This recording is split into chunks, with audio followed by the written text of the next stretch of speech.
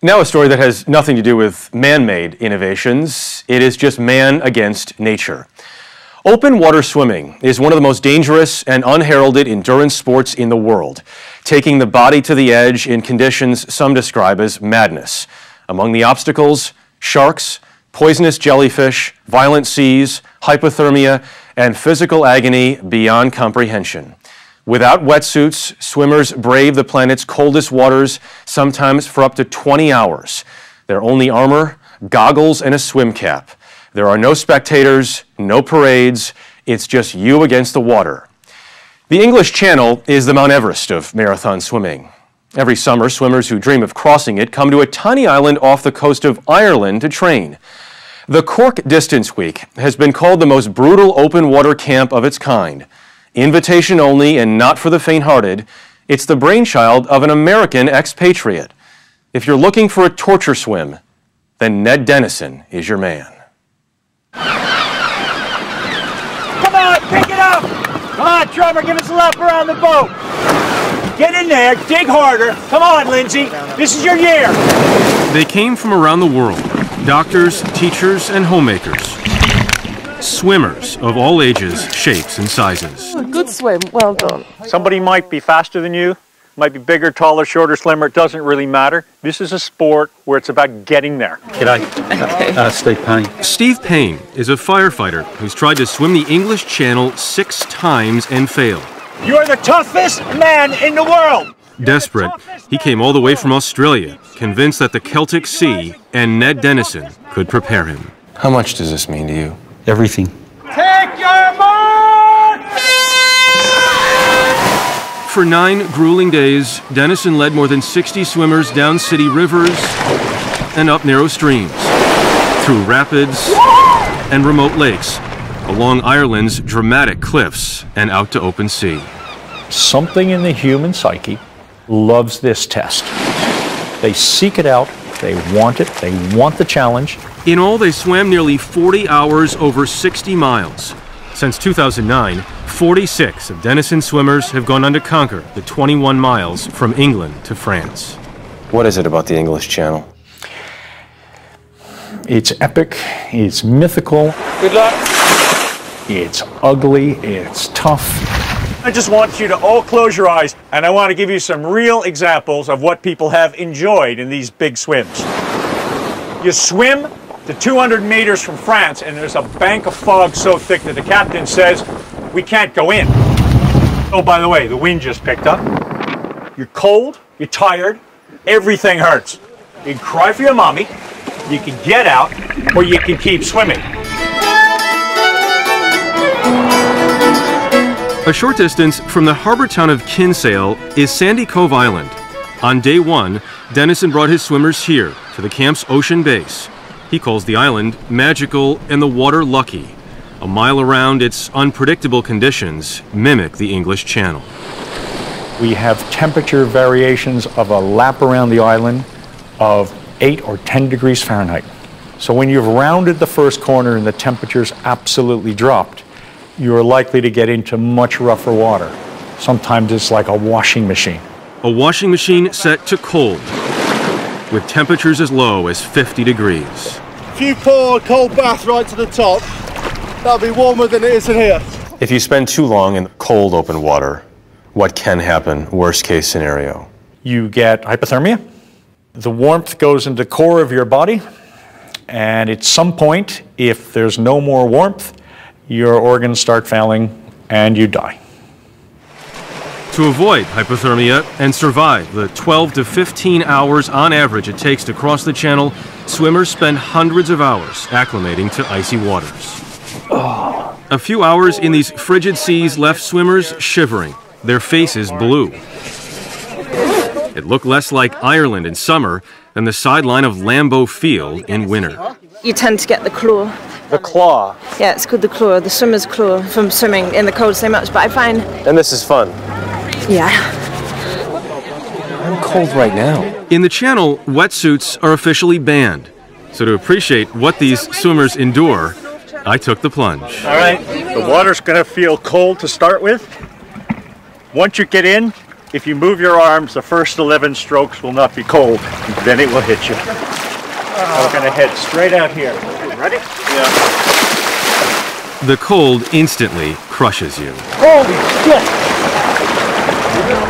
I'm impressed. Unbelievable. Unbelievable. This is a warm day. God, it's like when it hits your face. You can't even breathe. You cannot breathe. Oh. Swimmers spend four hours a day in these waters. I lasted four minutes. First time's horrible. Second time's not much better. The third time, your body and your brain are sort of getting used to it. Ned Denison has swum around Sandy Cove over 1,200 times. At six foot six, with the wingspan of an albatross, he is a legend in the world of marathon swimming. He's fierce, and I like that. He owns the water. The water's parked in front of him. The Lord has risen. He walks on water. By day, this open water guru works in IT sales, but his mind is never far from the sea. His walls are lined with charts of his global swims, from the English Channel to a stretch in South Africa full of great white sharks. You're swimming at night and your hand hits something. And it doesn't move away. Or it swims away. At night, in the dark, when you're all alone, when you've been out there for 12 hours and you're tired and you're lonely and something just moved, you better be pretty strong mentally. It's 90% up here and in here. It's do you have what it takes? I do not understand swimming. I've never taken a swimming class. You don't understand swimming. I don't coach swimming technique at all. I am a motivator. I'm a seriously dangerous motivator. And Denison, how are you, man? and a generous one. For Dennis, Denison, the camp is a passion project. Nervous? No. For all the week's pain, he only charges around $100 to cover his costs. Swim, Kate, swim! When they're in the water and we're doing everything possible to make them uncomfortable, I want them to remember that they paid for it. I'm awaiting further instructions, O Tormentor Supreme. He's a mentor. Uh, he's not quite Yoda, but A little bigger than Yoda. he's a lot bigger than Yoda. Come on, Anne-Marie, swim! Anne Marie Mullally was an unhappy, bored, middle aged mother of four who dreamed of swimming the channel but never thought it possible until Denison pointed to Sandy Cove and convinced her she could do one lap. I was filled with self doubt. Can I do this? Could I do a long distance swim? Ned has always said, go for it, you can do it. She started to do more frequent laps, and she is now signed up for the English Channel. 20 and a half miles left to go. You're doing great. Keep swimming. You're 48, Be 49 in September. four teenagers, Mm-hmm. and you want to swim across the English Channel. You got it. Yeah, you coming? At Distance Week, some have already conquered the channel, others aspire to. My longest swim was last Friday. I swam Gibraltar. My next challenge is to butter my wife up so she'll let me do something similar again. The camp lures some of the world's elite marathoners, like Adam Walker. This is the ultimate challenge of yourself, mentally and physically, because there's nowhere to hide out in the middle of the ocean. Walker came to prepare for the last of the global swims known as Ocean 7, What a fantastic spot. the equivalent of climbing's seven summits. During his quest, he's been escorted by dolphins in New Zealand and stung by a Portuguese man of war in Hawaii. If it was easy, everybody would be doing it. And all these people lined up at this camp want to be different to everybody else. Everyone has something to prove, demons to battle. When Alexia O'Mara made it to France last year, she not only fought the channel, but her epilepsy. So, what happens when you have a seizure when you're swimming? As long as you're conscious, you swim. You know, there is no option other than to carry on swimming. In marathon swimming, the mind is often more important than the body. Sarah Tunnicliffe doesn't look like an endurance athlete, but she swam the English Channel in just over 16 hours. I'm very proud. My body got me to France. My broad shoulders, they did 45,000 arm strokes to get me to France. I'm proud of every single little muscle that I've got on my shoulders. Steve Payne is an Ironman, but in six attempts, he's never been able to cross the channel. You finished 19 Ironmans, and the channel breaks you down. Yep. You just totally lose every bit of confidence that you had, and you start to doubt your own ability and your own strength and your own resilience. Payne came to camp hoping to gain the mental toughness for his upcoming seventh attempt. A couple more laps, you're in France. That'd be nice. I'm sure you visualize standing on the beach in France. Yep. What does that look like? I know there's no, there's no cheering bands, there's no people waving flags. But that doesn't matter for you. All that matters No, is Not at all. Swimming alone, in pairs, or as an armada, each of Denison's swims is designed to test their resolve and prepare them for the unexpected, because the stakes can be life or death. You had a swimmer who was here two years ago, who tried to swim the English Channel just after leaving. What happened? He suffered a massive heart attack less than a mile from France.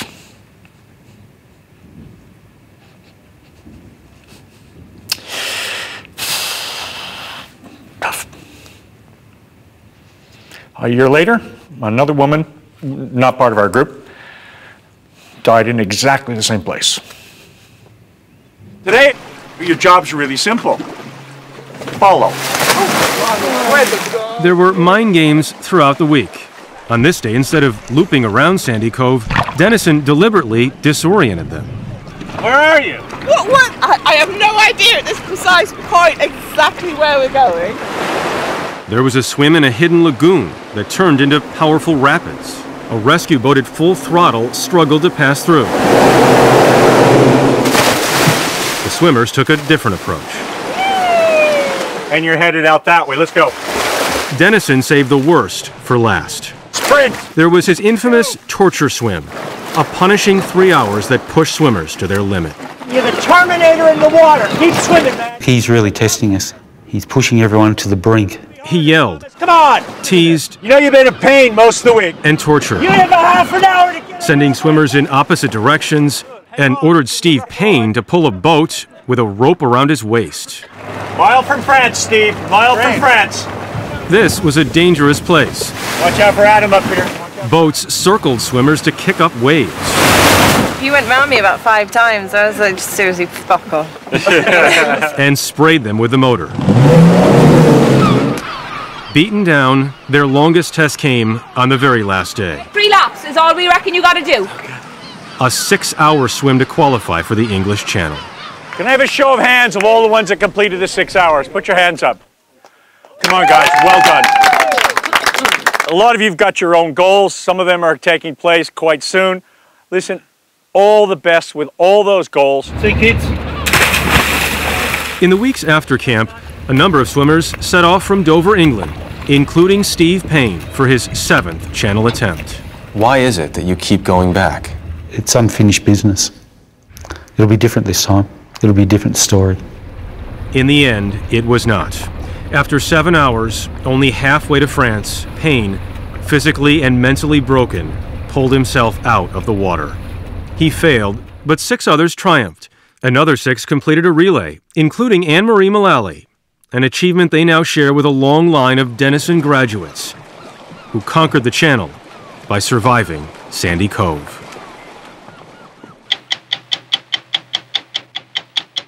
What do you get when you mix a 10 year old boy, a mountain bike, and fearlessness? You get Jackson Goldstone, a